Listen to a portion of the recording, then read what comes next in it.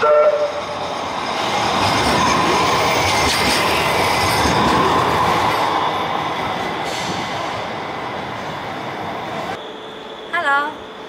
it's time for Japan Outpost.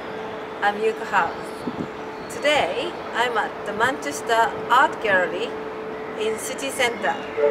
I'm visiting here to see Eastern Asian art uh, exhibition today. So, let's start now.